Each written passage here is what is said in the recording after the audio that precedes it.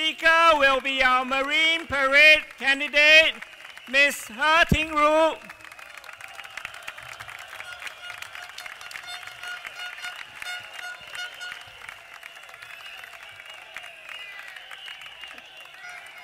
Xiuqi, 卢火波，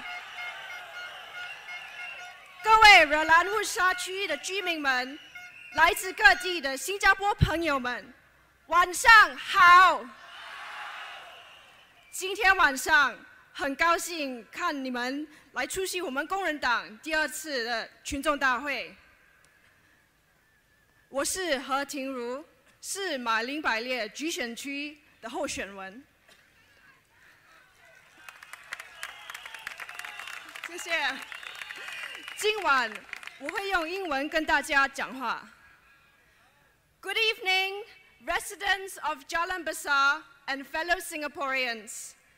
My name is He Ting Ru, and I am a Workers' Party candidate for Marine Parade GRC. First, a bit about myself. I grew up in Singapore before moving to England for university where I completed my undergraduate studies at the University of Cambridge. I stayed in England to attend law school in London before training and working in an international law firm in both London and Frankfurt, Germany.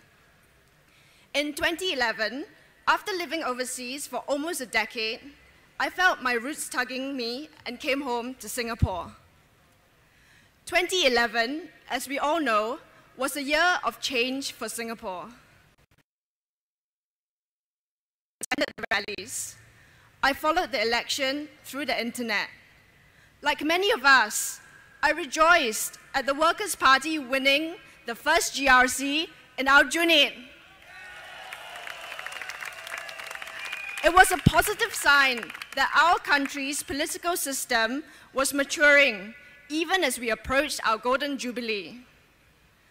As someone who just returned home, I was also struck by how much my country had changed, by how crowded it was, by how expensive everything became. I was struck by the worries, hopes, and dreams that Singaporeans had for their future, the future of their children. And I was deeply moved by the love for their country that Singaporeans had, both PAP and opposition supporters alike. Spurred on by the message that each one of us can contribute to our country and community, I decided to volunteer with the Workers' Party. I started helping residents weekly at the Meet the People sessions in Paya Lebar, which is part of Aljunied GRC.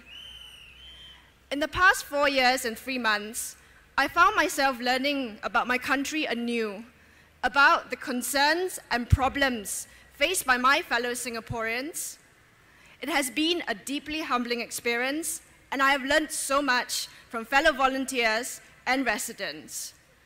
I watched residents sharing makeshift shelters from cardboard cartons during an Hougang by-election rally when they were caught by a sudden thunderstorm.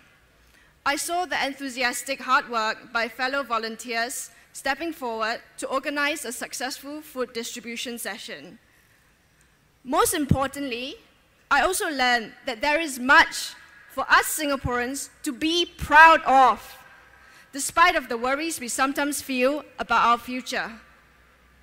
When I decided to run for Member of Parliament, many of my friends and family were extremely worried. They asked me about the impact it will have on my family, my career, about whether I will get fixed. I understood their concerns. In fact, I had the exact same thoughts myself. But then, I asked myself three questions. One, do I believe that it is healthy for Singapore to have a handful of people from the same political party deciding what is best for our country? Two, do I want a future for my country where my children dare not responsibly disagree with the government and speak their mind because they're afraid of being fixed? Three, do I think that our current policies and policy-making processes are perfect? That there is no need for improvement? that nothing needs to be done for nothing more needs to be done for Singaporeans, especially vulnerable Singaporeans. The answer for each one of them was no. As a young Singaporean, I have my ideas about what should be my nation's path. I do not want a future where our leaders tell us what to do, what to think, where our people, and a, a future where our people spend so much time worrying about how much the CPF minimum sum will increase this year, worrying about whether the trains will break down on our way to a crucial job interview, or worrying about whether we have to end up waiting for hours or days in a hospital corridor for a bed to be available for us or our loved ones. Instead, I want a future where we see more citizens involved in deciding our own future, a future where we pay close attention to vulnerable groups, and a destiny where we promote access to opportunities for all. There is no more direct way of effecting that change for Singapore than running for parliament. As my colleague Daniel Goh said last night, life is too short to be kiasu, kiasi, and kiakui. We must overcome that fear.